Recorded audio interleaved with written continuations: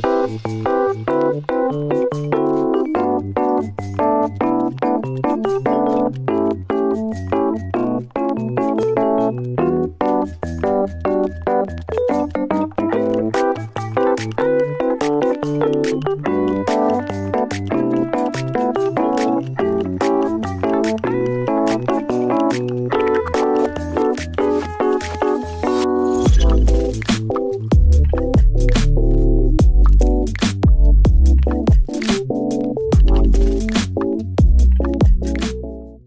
時刻は夜8時を回りました。日曜日の憂鬱の時間です。日曜日の憂鬱の時間です。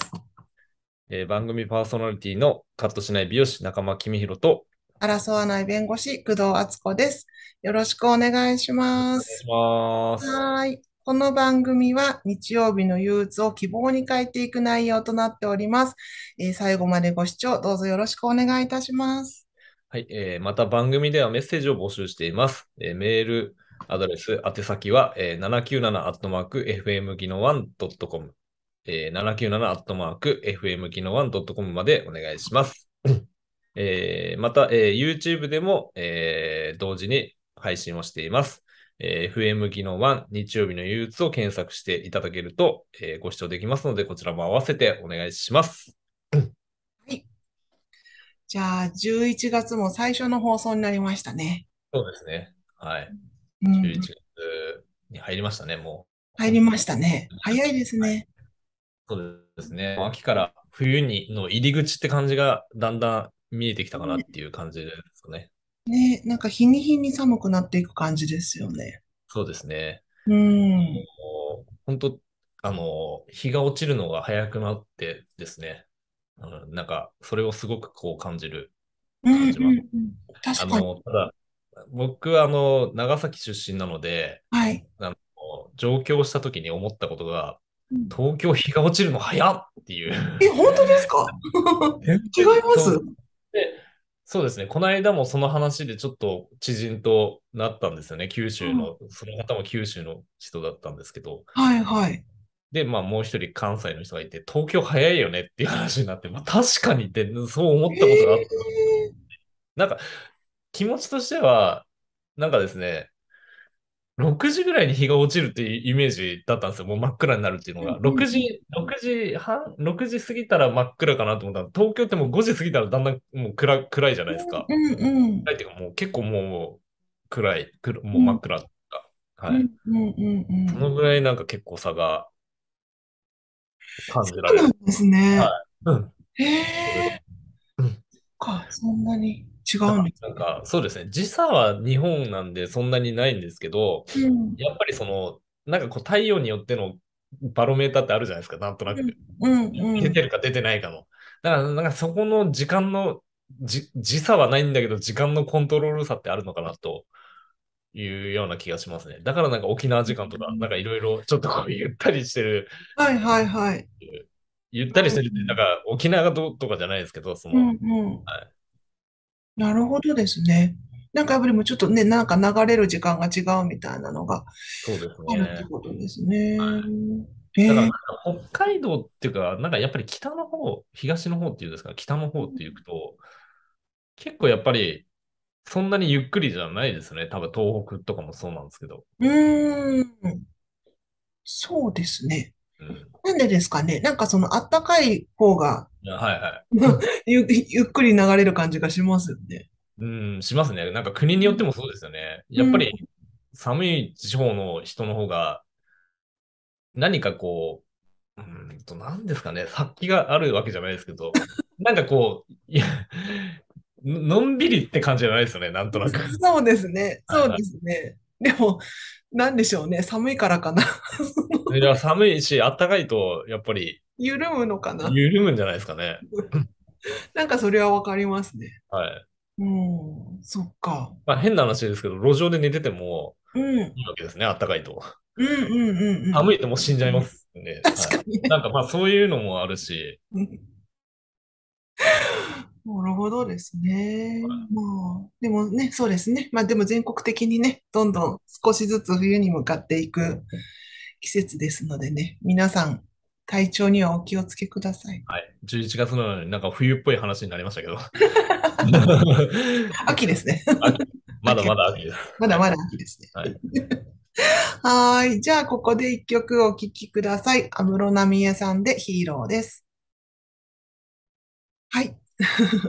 じゃあ、ちょっと秋ですからね。今まだね。ねそう、秋だから。なんかでも私、あの、この季節になると、えっと、まあ、弁護士って司法試験受かってからなるんですけれども、皆さんこう司法試験に受かったら、それでもうなんかすごい万々歳みたいな、もう目的達成みたいな感じにはなるかと思うんですけど、実は今、うんと、いわゆるその司法試験に受かってから、今は1年なんですけれども、修習生になるんですよね。司法修習生になって。で、その1年間は働けないんですよ。基本働いちゃいけなくって、修習に専念する1年間があっで、その一番最後に2回試験って言われる試験があるんです。で、それがこの週末ぐらいからあるんですけれども、あの、それでその2回試験って、まあ2回目の試験だから2回試験って言ってるんですけど、その修習終わった後の2回試験に受からないと、弁護士、裁判官、検察官にはなれないんですよね。うーん。うん。なので今ね、結構その修習生はドキドキのはいはい、なるだろほど。うなっていうのを、この前、そう、知り合いの修習生とお話ししてて、自分も思い出したってあなりました。うんなんかありますよね、そういうドキドキっていう時期が。ありますよね。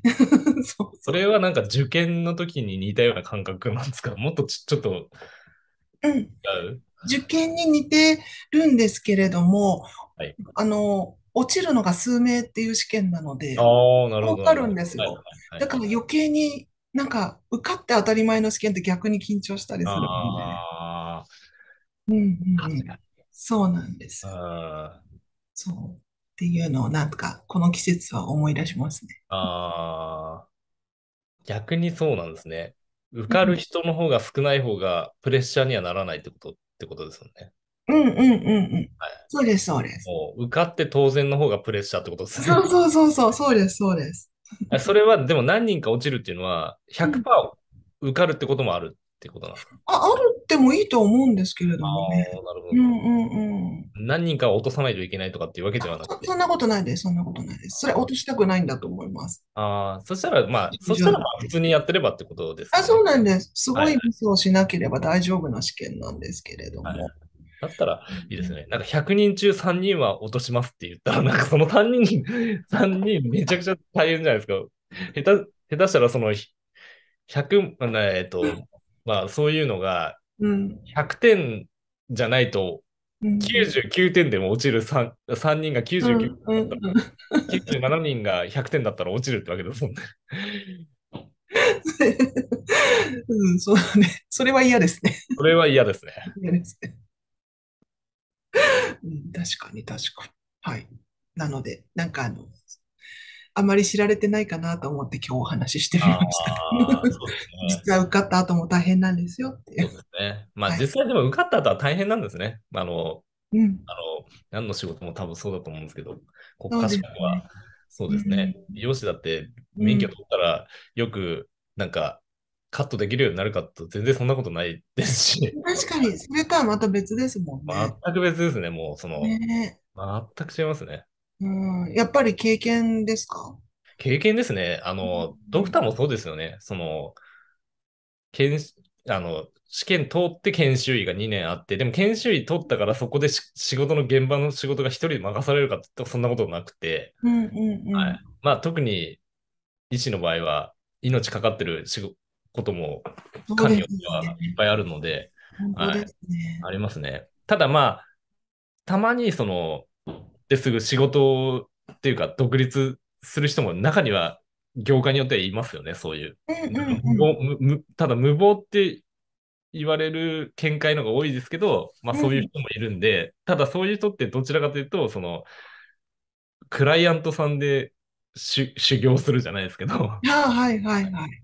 めちゃくちゃ怖いことですけどね。はいまあ、ただ一番、その、あの、最短の距離で、うん。あの、習得はできますね、いろいろ。技術はそうですねはい。そうですよね。でもやっぱり場数って大事ですもんね。大事ですね。ただうん、怖いですし、うん。まあ、それしてたら、まあ、例えば美容室だったら、美容師だったら、カットその人にされたくないって思うのがまあ普通だろうなと思うんで、はい。やっぱりそういうの考えると、まあちょっとどうなのかなっていうのはありますね。ああ、なるほどですね。でも誰でもね、最初は初めてですからね。そうですね。うん。はい。そっか。うん。じゃあちょっとここでお便りを読はい。まさせていただきます。はい。えっと、練馬区のワインとアイスさんからです。はい。はい。仲間さんに質問です。最近前髪が乏しくなってきたのですが、どんな髪型が良いか迷っています。ヘアスタイルをウェブで見ても、シニア用のスタイリングは、えー掲載が少なく参考になりません。どうしたらいいでしょうかシニアの方ってことですね。そうですね。まあ、こはい。れが男性、女性でまたちょっと違ってくるので、うんうん。あの、確かにその、シニア向けのカタログって少ないんですよね。少なあいし、少なかったあ、っていう方が正しい言い方になるのか、もう最近はやっぱり高齢化してるので、すうんごくシニアの40代以上の雑誌とかって結構出てるんです。うん。うんうんはい。ただその紙があるかないかによってもまたやっぱ違うのと、うん。うん。うん、そうですね。うんうんなんて答えればいいのか。また男性と女性で全然違うし、うんうん。そっか。まあ、そのやっぱり年齢とともに髪は乏しくなるものではあるので、うんうん。うーん、そうですね。じゃあ男性だったらどうしたらいいですか？前髪乏しくなってきた時の。男性で前髪、前髪が、ああ、前の方から来るのか。うん。うん。M 字型ってことですね。じゃあ、M 字、あの、ほう。抜け毛の、あの、形ってあるんですけど、はい。前からこの反り込みから来る M う型と、あと後ろから来る O 型、ん。なるほど。M で両方来る MO 型っていうのがあって、はい。ええまあ、それが細かくこう、ちょっと、あの、分かれてるんですね。うんうんはい。うん。なので、まあ、その、本当に M が来ちゃったら、どうするかっていうと、やっぱり、ちょっとこう、前髪持ってくるしかないですよ、後ろから。で、MO が来ちゃうと、もう完全に髪ほぼない状態だと思うんですよね、その人。ああ。まあ、そういう方は、うん。あの、美容師として、こういうこと言うと最低かもしれないですけど、スキンヘッドにする。ああ。スキンヘッドかっこいいですもんね。うんかっこいいです。あのですね、ちょっと先日、知り合いの知り合いを紹介されたときに、その方はい。スキンヘッドだったんですよ。はいはいはい。スキンヘッドにすごいポリシーを持ってて、うん。なんか最初はやっぱり隠し隠しやってる段階があったんですけど、うんうん。もうなんか坊主にしちゃいと思って坊主にしたんですって。はい。でもやっぱり坊主にすると、やっぱり横の髪が残るんですよ。ええで、ハゲうん。がやっぱりハゲなんですよ。もうなんか、はい。ハゲっていう印象になるんですよ。うん。でも、横も全部そ、反っちゃうんですよ、完全に。うん。そうすると、あの、ハゲっていう認識がちょっと変わってくるんですよ、人のう印象って。ん。なん、うん。なんて言っていいかわかんないですけど、うん。うん。だから、その方はすごいスキンヘッドにしてね、モテるようになったんだよって言ってます。あの、男性ですけどね。まあ男性か男性ですけど。なぜはい。いや、でもそう思います。うんうん。そうですね。はい。うん。だって、その方がかっこいいですもんね。そうですね。うん。はい。あの、昔バレーボール選手に、まあバレーボールやってたので、あれなんです。はい。もうスキンヘッドの代名詞っていうサムエルソン選手っていたんですよ。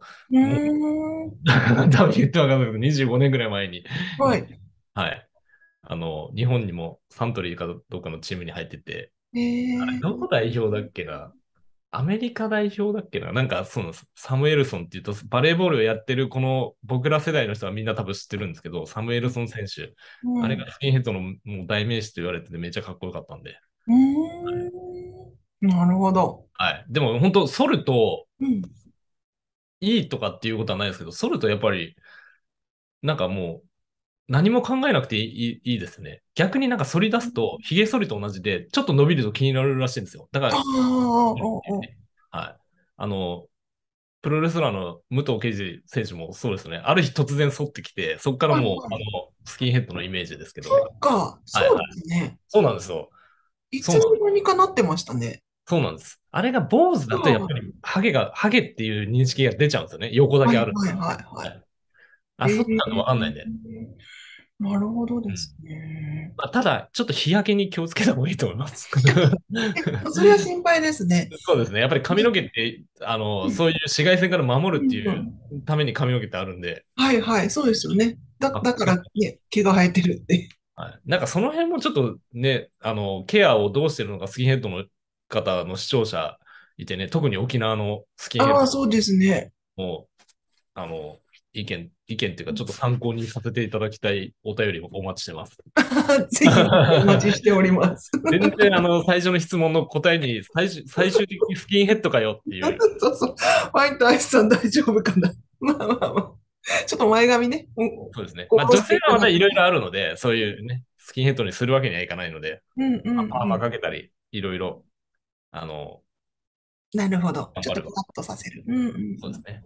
うんうんうんはーい。最終的にスキンヘッドの、あはいホワイトアイスさん、ありがとうございました。りがとうございました。はい。うんはい。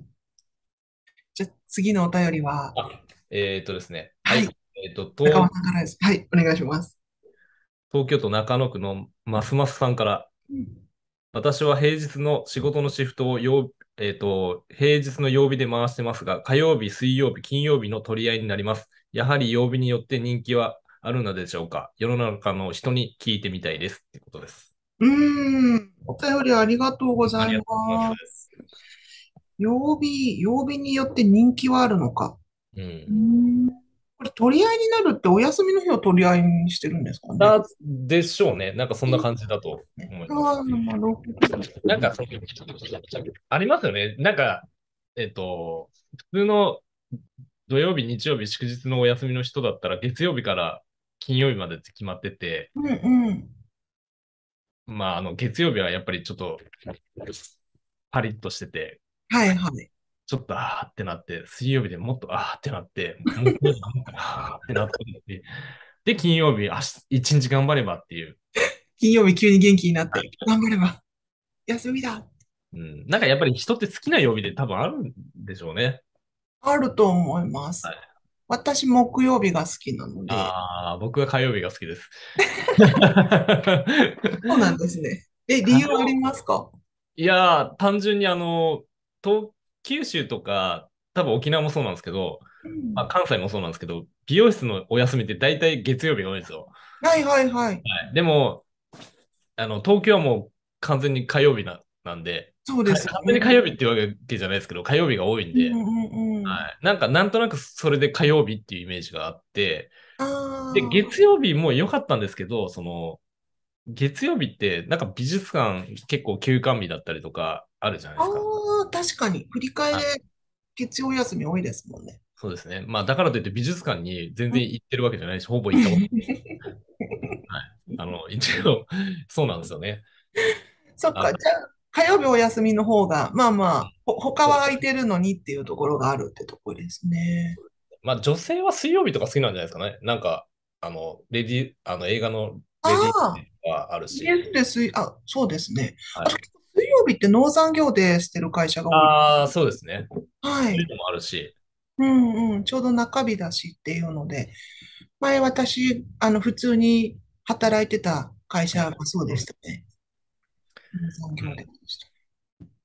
うまあん。ちょっとですね、えっと、この曜日、シフト、仕事のシフトの曜日に関して言うと、はい。えっと、僕があの、最初に美容師になった時に、うん。まあ、同期がちょうど5人いたんですよ。はい。で、平日を1回、えっと、お休みを取っていくってシフトで回すんですよ。うんうん。で美容室ってだんだん週末になればなるほど忙しくなっていくんですよ。うんうんうん。だからやっぱりできる人は月火水にされるんですよ。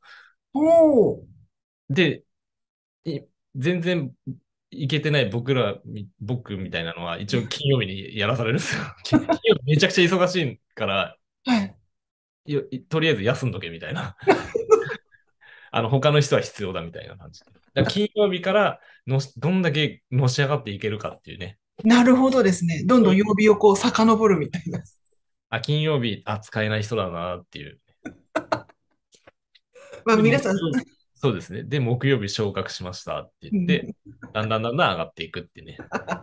面白い。はい。なるほどね。ありますよね。おー、そっか。じゃあ皆さんでも最初はね、じゃあ金曜日から始まって。うん、そうですね。うん一応でもす、そうですね。土日、日曜日から始まるんで、一応、の7の間っていうと水曜日になるんですよ。うんうん水曜軸で考えると一番真ん中なんで、うん。うん。分散はされるんですよね。まあ、どこ、どこを軸に考えるかだと思うんですけど、うんうんうんうん。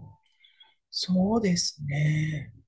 そうなんですよね。だから美容室で言うと土日がやっぱり忙しいので、はいはいはい。金曜日に、ねえっと、休みとかすると、結構やっぱりいきなりマ土土曜日マックスにっうん。ていう、なんかそういう印象を持たれてる方が多分美容業界は多いのかなと思います。なるほどですね。はい。ちょっとなんでしょうね。肩慣らしの時間がないままドーンってすごい日になってそうですね。いきなり土曜日。へーなんか個人的には本当火曜日がいいんです。あの、なんでかっていうと、うん。土日結構忙しいんですよ。うん。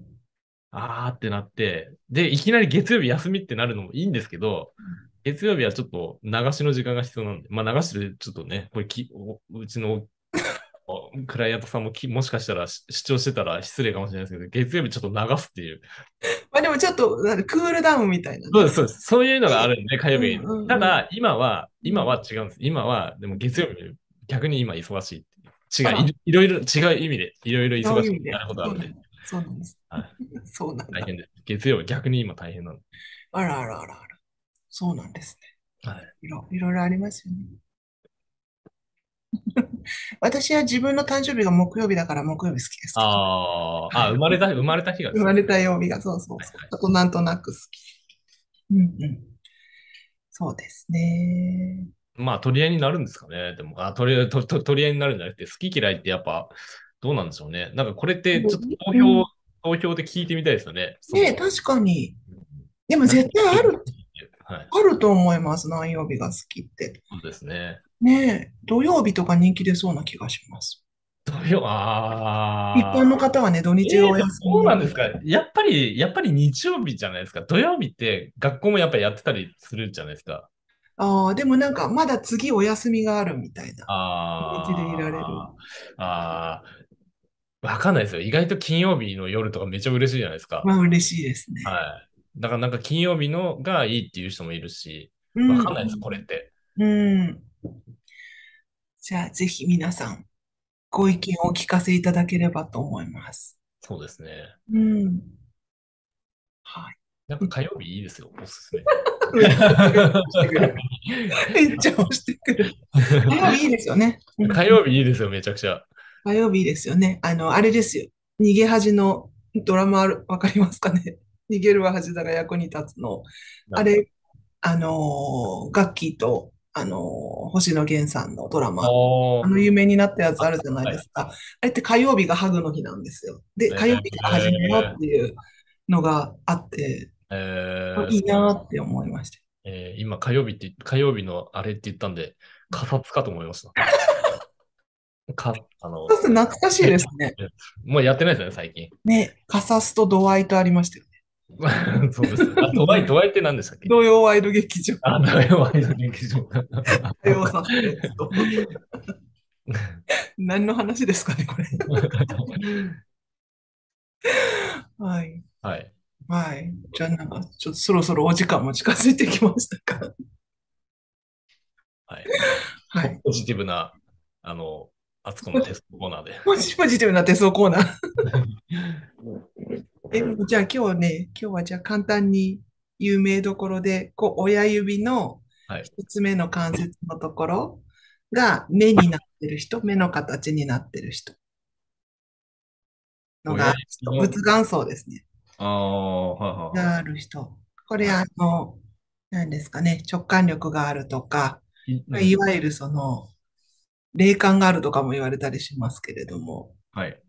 そういうちょっとスピリチュアル系もわかるみたいな。えー、なんかちょうど、その、あれですね、シワになってて真ん中にちょっと傷があるんで、本当に目っぽくなってます。あ、すごい。まあ、そこまで、目まで。